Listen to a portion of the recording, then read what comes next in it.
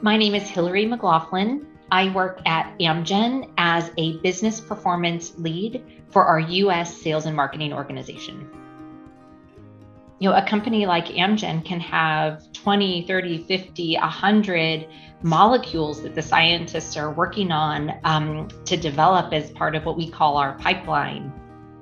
Where my role comes into play is once those um, those molecules are approved by our government that we can actually sell and give them to to physicians and, and to patients who could benefit from from that medicine um, i come in at, at, at that point in time where we say okay what do we need to do now to make sure that the patients and the our doctors have access to this great medicine that can then benefit their their patients. I kind of am a jack of all all trades um, and get to work with a lot of different scientists, with people who um, manufacture and you know develop our drugs, um, as well as the individuals who are incredibly creative in thinking about um, design and commercials and advertising and things that again help um, help patients understand and, and doctors understand um, what is available to them.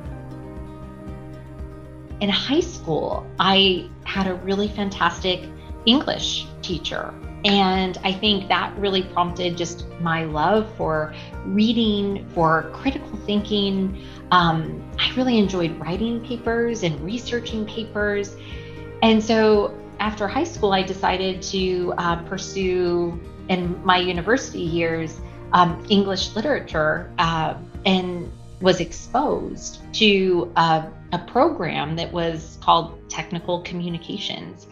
And that gave me an opportunity to learn how do I take what I love to do with writing and thinking and um, and apply that in a way that is very relevant to business. While at university studying English, I had an opportunity to take an internship with Amgen as a technical writer.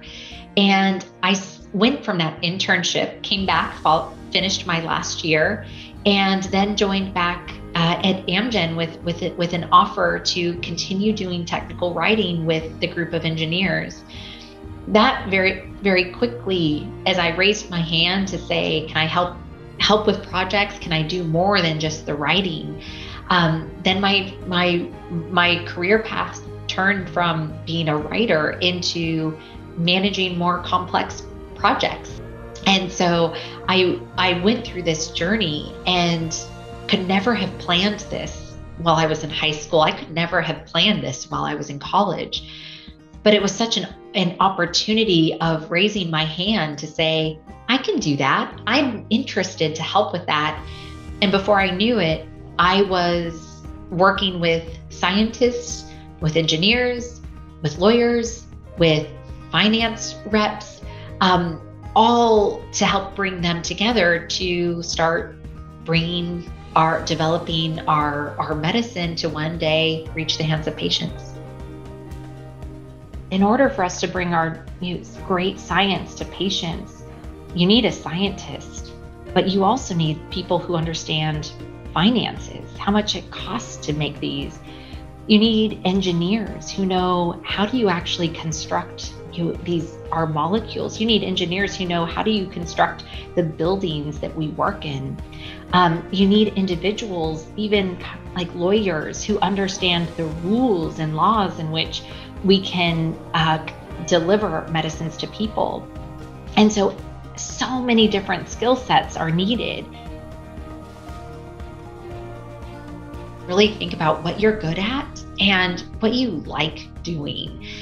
And I have to bet that there's then you there's value in that that is going to contribute towards um, you know towards the medicines of, of the future.